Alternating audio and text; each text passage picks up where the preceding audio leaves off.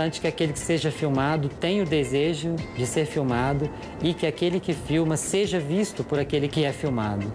Ela faz o personagem, mão enfiada no bolso. Que uma pessoa, desde o momento em que ela talvez se torna consciente de que ela vai ser filmada, de que ela vai ser parte de um filme, isso já traz para ela a, construção do personagem, digamos, já começa desde o momento que a pessoa sabe que ela vai participar de um filme, aquela que, que vai se tornar personagem, né? Duas décadas depois do Brasil retomar o sonho de uma indústria para o cinema, os filmes de não ficção assumem um lugar de destaque em nossas telas. Intimismo, subjetividade, delírio e muita experimentação de linguagem ganham força mesmo quando o foco é a denúncia social. No diverso de hoje, as propostas e as incertezas do documentário. Ela é soberana. 3, 2, 1, gravando.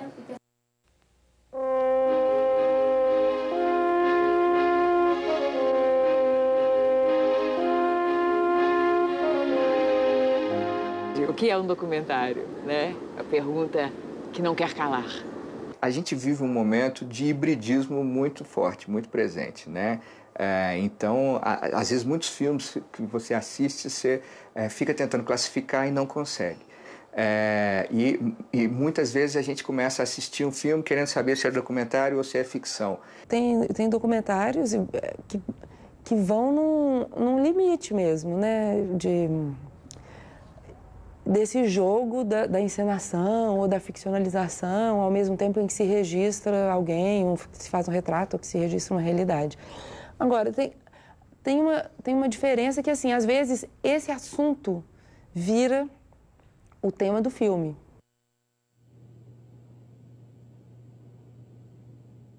Nos melhores casos, parte-se já da premissa de que, de que o filme documental é uma narrativa, né? Por exemplo, né, é um exemplo que todos conhecem, do, o exemplo do jogo de cena do Eduardo Coutinho. Né? Então, o Coutinho que nesses anos todos, se notabilizou por, pelo trabalho com esse procedimento central aos seus filmes, que é o da entrevista, realizado por ele de maneira muito particular. Né? Ele vem neste filme, o Jogo de Cena, é, questionar reflexivamente, tacitamente, o seu próprio procedimento, evidenciando para nós o quanto a entrevista é um set, né? quanto o entrevistador é um diretor de atores, é, quanto a depender da maneira como você, você age, como você atua numa entrevista, como entrevistador, você vai dirigir as respostas daquele que, é, é, que atua como entrevistado. Eu já tinha interesse em outras pessoas, eu saí um pouco do foco é, do casamento. Então eu saí um pouco do foco do casamento. Aí eu achei que não seria legal, porque tanto ele como eu, na época, a gente era muito jovem. E aí eu já estava com aquela sensação, assim, eu achava interessante sair na rua e alguém me paquerar. Aí achei que não seria legal, porque poderia, de repente, trair, ou em pensamentos, ou de repente poderia realmente acontecer. O documentário não pode ficar só naquela coisa monolítica de uma voz raciocinando pelo espectador, né? ou no, na modalidade da entrevista, da, né? de, uma, de uma coisa que, que é a função do jornalismo. Né? O jornalismo tem uma função diferente do mundo, né? É, é, tem que subsidiar, informar. O cinema tem que inquietar, deslocar. Eu acho que todas as classificações são muito válidas como ponto de partida, mas elas não podem ser levadas muito a sério, sabe? Eu acho que a gente tem é, que superar essas questões de classificação e, e contemplar e desfrutar os filmes como filmes.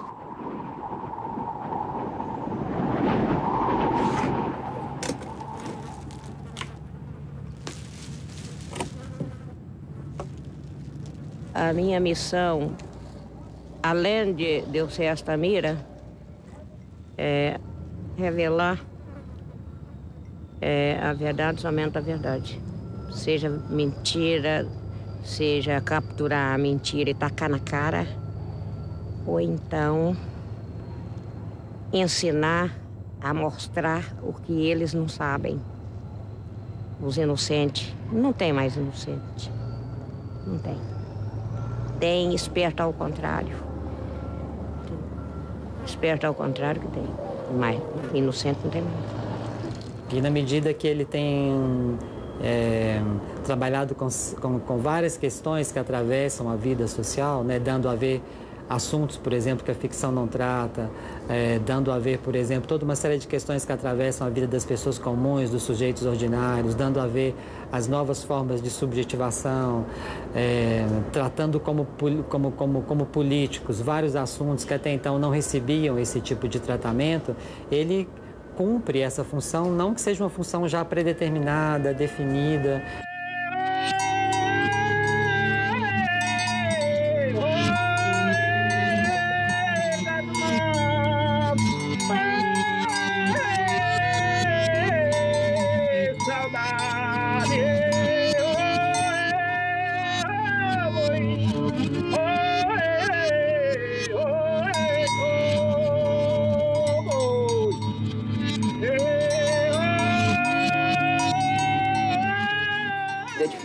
Filme como esse chegar ao circuito comercial, com uma distribuição equivalente a que, a que tem os filmes produzidos né, pela indústria né, e distribuídos pelas majors.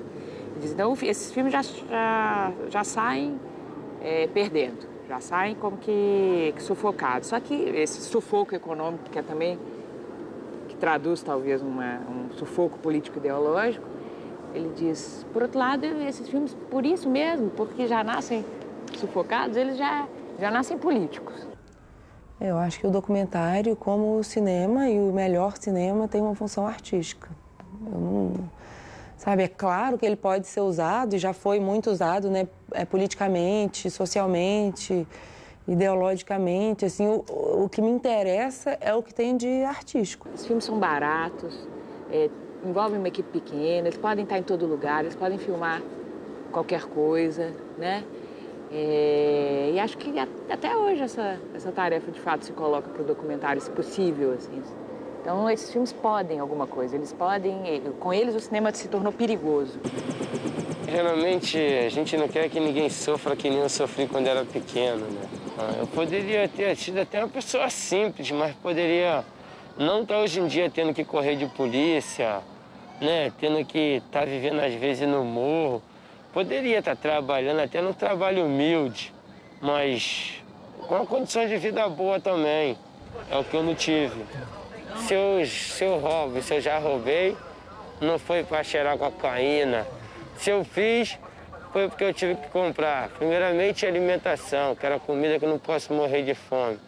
A minha história com o cinema é, é, é a possibilidade de falar essas questões políticas e claras. Assim, para mim, cinema tem que ser político, na minha leitura, é sempre, eu sempre quero chegar em alguma questão que me incomoda politicamente. Quando eu falo politicamente, falo sim nas instâncias institucionais de poder. Aquilo me incomoda, eu quero chegar até eles e de alguma forma falar com isso. Os pobres enfeiavam, né? Brasília, né? Então, é, tinha que achar uma solução. E era expulsar mesmo. Na verdade, não era retirar, era expulsar. Morador 5 da Norte, Morro do Urubu, candidato a distrital a campanha do PCN, Partidos Correria Nacional. Estou me candidatando a essas eleições. Pouco recurso, mas é do jeito que dá. O cunhadão tá aqui ajudando.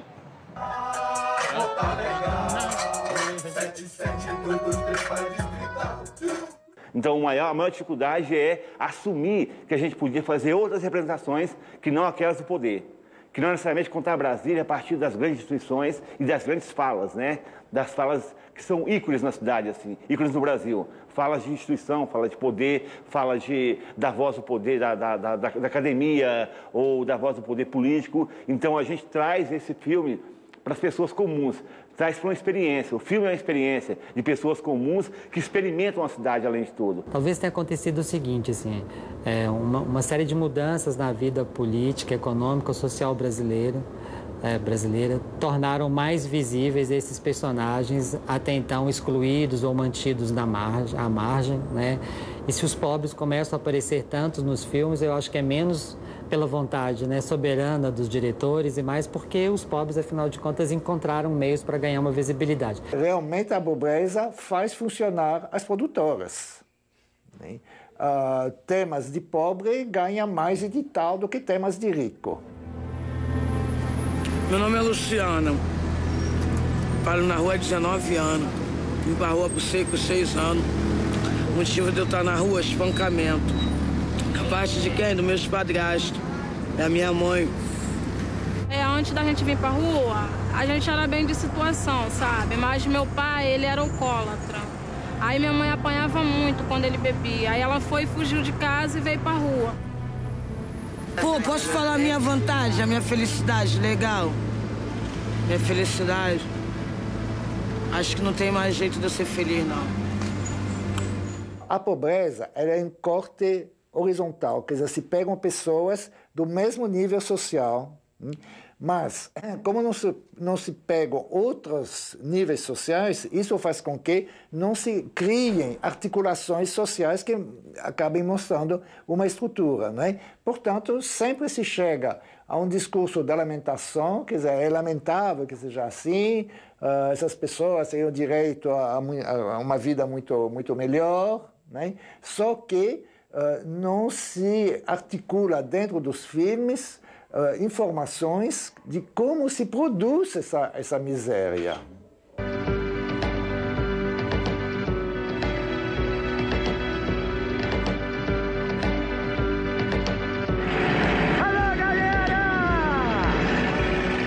olha só, Vic.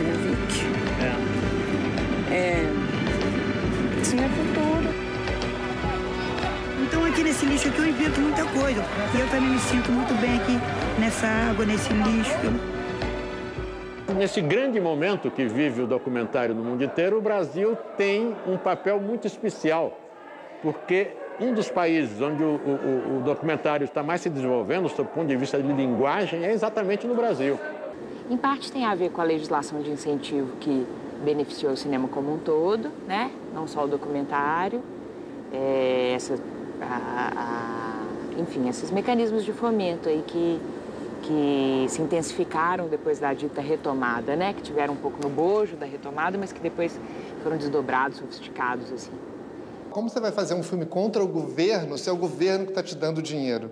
E os melhores filmes são sempre aqueles que são contra os governos, né? hipoteticamente falando. Não para derrubar nenhum governo, mas para você fazer refletir. O que você vê a maior parte do tempo é uma fórmula que se repete em torno de uma personalidade e em volta dessa personalidade o que eu chamo de o coro dos louvadores. Moro num país tropical. E assim pode ser um roqueiro ou Marighella que não muda muita coisa. Quer dizer, eu acho que essa fórmula nivela tudo, não se buscam formas mais adequadas a este ou aquela pessoa ou personalidade de que se vai tratar, mas acho que de forma geral há um nivelamento muito muito grande por causa dessa dessa fórmula que que, que é uma fórmula de pessoas de cabeças que falam. Né? Acho que a gente saiu lutar por uma vida em Brasília. A gente vivia junto. E nesse viver junto, pô, não há quem aguente. ter aquela velha opinião formada sobre tudo.